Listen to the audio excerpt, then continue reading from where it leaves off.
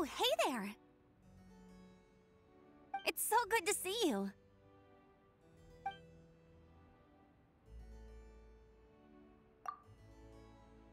I like it a lot.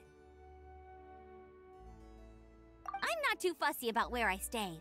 After all, as an outrider, I have to be able to adapt to all kinds of surroundings. If I had to, I could even sleep on a tree branch.